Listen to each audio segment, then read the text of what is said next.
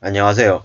이제 돌아가신 서세원 씨가 사업이 망해서 26억 원 전 재산을 날리고 생활고에 좀 시달리면서 지냈다라고 합니다. 저런 얘기를 들으면 무슨 생각이 듭니까? 뭐 이제 원래 하던 본업이 있었죠. 원래 본업이 뭡니까? 뭐 개그고 예능이고 뭐 그런 쪽으로 많은 이렇게 탁월한 능력을 이제 가졌던 이죠. 뭐 그랬더니가 뭐 사업이라고 하는 새로운 영역에서 뭐 활동을 해보겠다라고 했다가 다 날렸다라는 걸 보면 좀 씁쓸한 생각이 들기도 하고 다른 한편으로는 뭐 재산 26억을 그냥 잘 그냥 간직하고 있었더라면은 저렇게 힘들지 않게 생활하지 않았을까. 좀 더 많은 걸 가지려고 혹은 더 큰 생각들을 하다가 저렇게 된 게 아닌가 이런 생각들이 좀 들죠. 국내에서 많은 돈을 벌었고 캄보디아에서도 3조 원 규모의 사업을 운영했다. 뭐 이런 얘기도 있었다는데 실제로는 돈이 없어서 뭐 제대로 못 먹을 정도로 힘들어했다라는 거죠. 뭐 월세방에 월세방과 다름없는 비즈니스 호텔에 전전긍긍했다고 합니다. 돈이 없어서 지인한테 600만 원 빌려달라고 얘기하고 그랬다고 하는데 참 많은 생각들을 합니다. 우리가 살면서 실제로 제대로 돈을 버는 건 어디에서입니까? 자기가 잘 알고 있는 분야입니다. 뭐 주식을 한다라고 하면 자기가 잘 아는 종목에 주식에서 돈을 벌 가능성이 크지 잘 모르는 데서 돈 벌 일은 없습니다. 뭐 좀 너무 욕심 부릴 필요가 없다라는 거죠. 함부로 욕심 부렸다가는 힘들어지는 경우가 생기더라는 말씀을 좀 드리고 싶었던 겁니다. 살아가는 삶이 안 쉽죠. 많이 어렵습니다. 많이 힘듭니다. 왜 힘듭니까? 내 뜻대로 내 생각대로 흘러가지 않기 때문에 힘든 거죠. 이렇게 되면 좋겠다 저렇게 되면 좋겠다 이렇게 되면 참 걱정이겠다 라고 생각하는데 그대로 흘러가지 않고 생각지도 못한 변수가 생기고 갑자기 돈이 더 들어가고 뭐 가까이에 있는 지인한테 사기당하기도 하고 뒤통수 맞기도 하고 별의별 일다 겪죠. 그래서 항상 뭐 얘기합니까? 사람 조심해야 된다라는 거. 그리고 함부로 욕심, 탐욕 부려서 안 된다라는 얘기를 많이 하죠, 어른들이. 그 얘기가 아, 되게 지루하고 꼰대 얘기 같고, 그냥 뻔한, 뭐, 별일 아닌, 그냥, 영양가 없는 좋은 가치 생각되지만, 인생을 살아가다 보면, 지나가다 보면, 알게 되죠. 사람만큼 무서운 존재가 없다라는 거 하나와 또 하나는 내가 가진 욕심, 탐욕, 조급함 이런 것 때문에 남이 나를 미는 게 아니라 내 스스로가 밀려나가서 무너진다라는 거죠. 그렇게 마음먹고 좀 멀리 내다보고 차근차근 하는 게 좋죠. 안전을 제일 최우선으로 생각해야 됩니다. 재산은 우리의 목숨줄과 같습니다.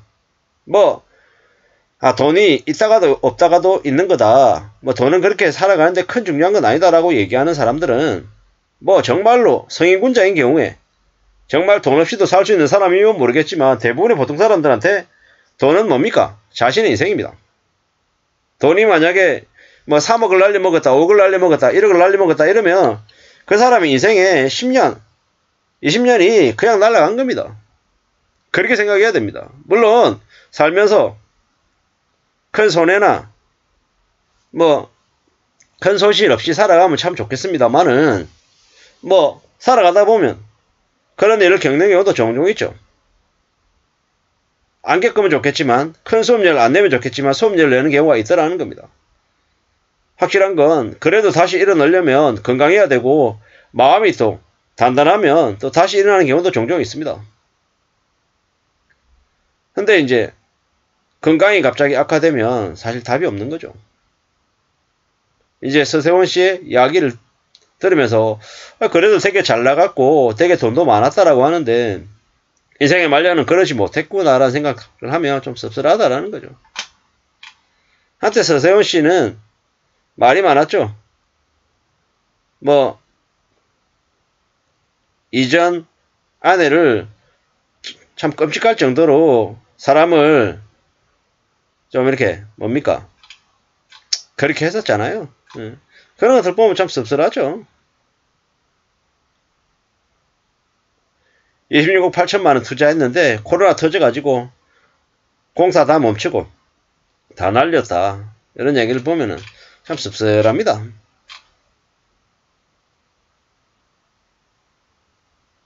자업자득이다라는 거죠. 예. 돈이 중심일 수 있다.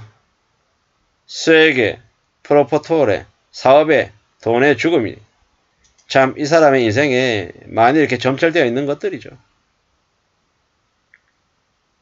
하루 10만원짜리 비즈니스 호텔이면 한 달이면 300인데 그게 적은 거냐. 이런 이제 얘기를 하는 댓글들도 있고요. 응? 캄보디아에서 사업하지 마라 망한다 이렇게 얘기하기도 하죠.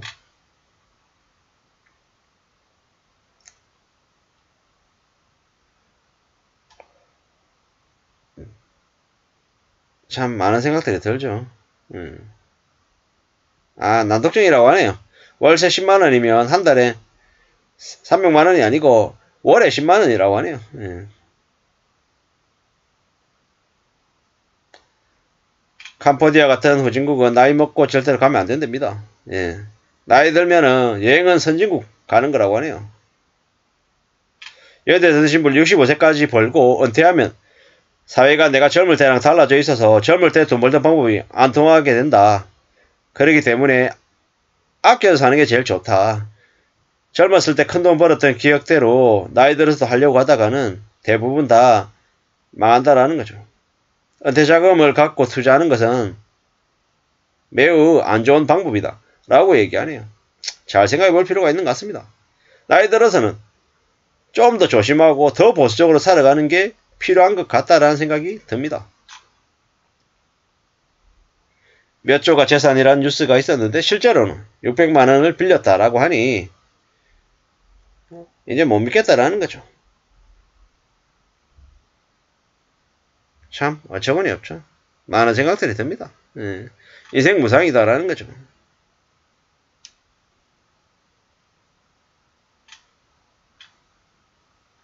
뭐 결국 너무 무리하고 너무 탐욕을 부리고 너무 그렇게 하면 안 되겠다라는 거죠.